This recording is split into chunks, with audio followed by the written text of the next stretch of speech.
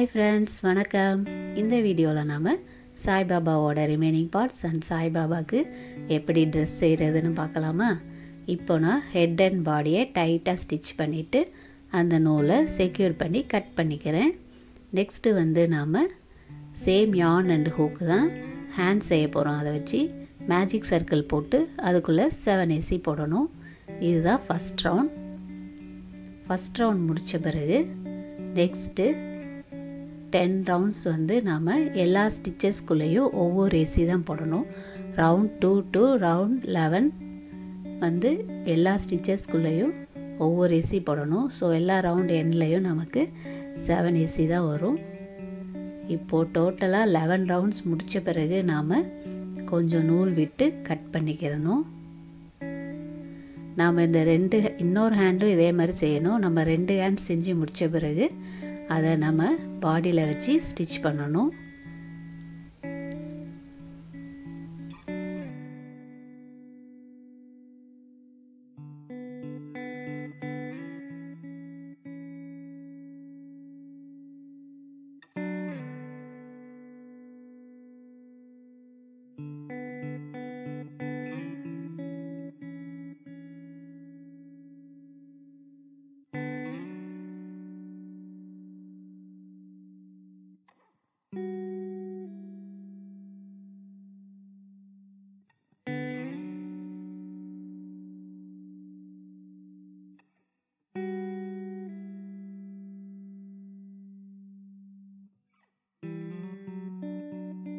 இப்போது ஹேண்ட்ஸை பாடியில் மேலேருந்து மூணாவது ரவுண்டு மேலே ஹேண்ட்ஸை ரெண்டு சைடு வச்சு இந்த மாதிரி ஸ்டிச் பண்ணிக்கிறணும்.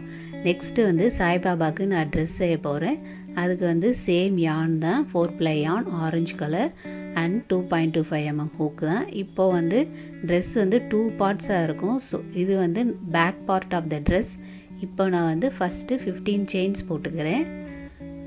தென் செகண்ட் செயின்லேருந்து எல்லா செயின்குள்ளேயும் ஒவ்வொரு ஏசி போடணும். ஸோ செகண்ட் ரவுண்டில் நமக்கு ஃபோர்டீன் ஏசி வரும். செகண்ட் ரவுண்ட் முடிச்சுட்டு நெக்ஸ்ட்டு ரவுண்ட் த்ரீலேருந்து ரவுண்ட் லெவன் வரைக்கும் எல்லா ஸ்டிச்சஸ்குள்ளேயும் ஒவ்வொரு ஏசி தான் போடணும். ஒவ்வொரு ரவுண்டு முடிஞ்சு திருப்புறப்ப நம்ம ஒரு செயின் போட்டு தான் திருப்பணும். அப்போ தான் சைடில் வந்து நீட்டாக அழகாக இருக்கும். இப்போது ரவுண்ட் லெவன் முடிச்சுட்டு இப்போ வந்து ரவுண்ட் டுவெல் ரவுண்ட் டுவெல் என்ன பண்ணணும்னா ஃபஸ்ட்டு டூ ஸ்டிச்சஸை டிக்ரீஸ் பண்ணிவிட்டு தென் டென் ஸ்டிச்சஸ்க்குள்ளே ஒவ்வொரு ஏசி போடணும். போட்டுட்டு லாஸ்ட் டூ ஸ்டிச்சஸை வந்து நம்ம டிக்ரீஸ் பண்ணணும். ஸோ ரவுண்ட் டுவெல்ல வந்து நமக்கு டுவெல் ஏசி வரும். நெக்ஸ்ட்டு ரவுண்ட் டுவெல் முடிச்சுட்டு ரவுண்ட் தேர்ட்டீன் டு டுவெண்ட்டி எல்லா ஸ்டிச்சஸ்க்குள்ளேயும் ஒவ்வொரு ஏசி தான் போடணும்.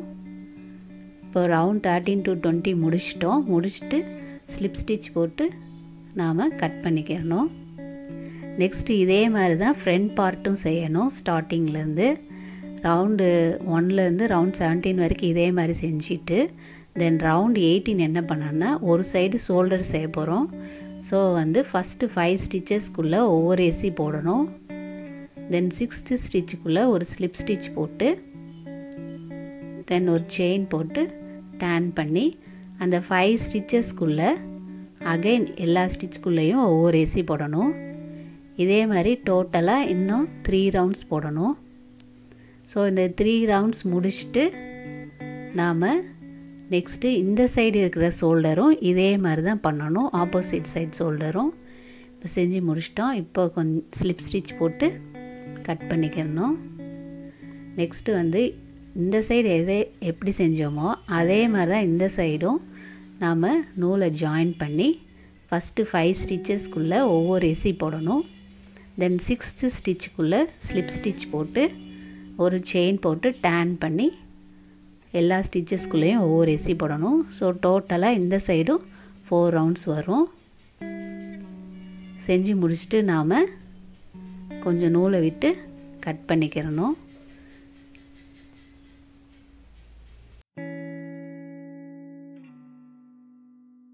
இது செஞ்சு முடித்த பிறகு நெக்ஸ்ட்டு நம்ம இந்த ரெண்டு பீஸையும் ஒன்றா வச்சு எப்படி ஸ்டிச் பண்ணுறதுன்னு பார்ப்போம்.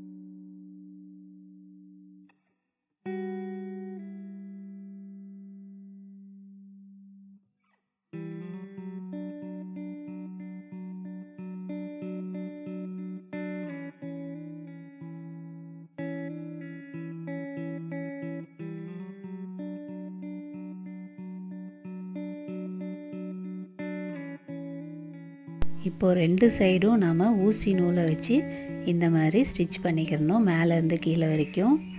கீழே எண்டு வரைக்கும் ஸ்டிச் பண்ணாமல் ஒரு ஃபைவ் சிக்ஸ் ஸ்டிச்சஸை வந்து ஸ்டிச் பண்ணாமல் விட்டுருங்க.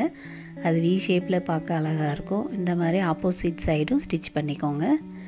தென் இது ஸ்டிச் பண்ணி முடித்த பிறகு நம்ம ரெண்டு ஹேண்ட்ஸுக்கும் ஸ்லீவ்ஸ் எப்படி பண்ணுறதுன்னு பார்க்கலாம். இப்போது ஹேண்ட்ஸை சுற்றி ஸ்டிச்சஸ் இருக்கும்ல அதுக்குள்ளே அந்த ஹோல்குள்ளே ஹூக்கை விட்டு சேம் யான் அண்டு சேம் ஹூக் சைஸ் தான் ஹூக்கை விட்டு நாம் ஆரஞ்சு கலர் நூலை ஜாயின் பண்ணி எல்லா ஸ்டிச்சஸ் ஹோல்குள்ளேயும் ஒவ்வொரு எஸ்சி போடணும். இந்த மாதிரி சுற்றி ஹேண்ட்ஸை சுற்றி ஒவ்வொரு எஸ்சி போடணும். எனக்கு வந்து டோட்டலாக டுவெல் எஸ்சி வந்துச்சு. உங்களுக்கு இதை விட டூ த்ரீ ஸ்டிச்சஸ் கூடையோ இல்லை கம்மியோ வந்தாலும் பரவாயில்ல. இப்படி ஃபுல்லாக நம்ம அந்த ஹோல்குள்ளே ஹூக்கை விட்டு ஒவ்வொரு ஏசி போடணும். இதுதான் ஃபஸ்ட் ரவுண்ட் ஃபஸ்ட் ரவுண்ட் முடித்த பிறகு second third fourth next three rounds வந்து எல்லா ஸ்டிச்சஸ்குள்ளேயும் ஒவ்வொரு ஏசி போடணும். ஃபோர் டோட்டலாக ஃபோர் ரவுண்ட் முடித்த பிறகு next last round fifth round என்ன பண்ணணும்னா டூ ஏசி ஒரு increase two SC increase then அதை செஞ்சு முடித்த பிறகு ஸ்லிப் ஸ்டிச் போட்டு நூலை கட் பண்ணிடணும். இதே மாதிரி தான் இன்னொரு சைடும் நாம் ஸ்லீவ்ஸு செய்யணும்.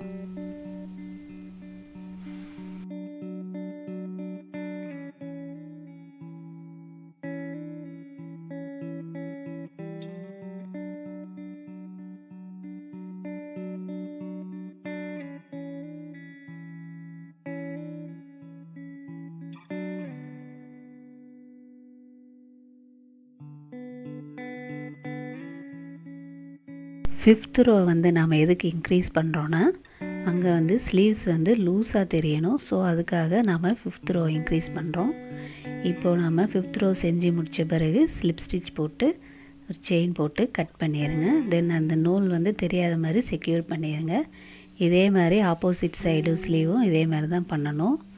ஓகே ஃப்ரெண்ட்ஸ் நம்ம ரிமைனிங் பார்ட்ஸ் அண்ட் ஜாயினிங் எப்படி பண்ணுறதுன்னு நெக்ஸ்ட் வீடியோவில் பார்க்கலாம். அது வரைக்கும் bye bye take care see you all உங்களுக்கு இந்த வீடியோ பிடிச்சிருந்தால் லைக் பண்ணுங்கள் ஷேர் பண்ணுங்கள் சப்ஸ்கிரைப் பண்ணுங்கள்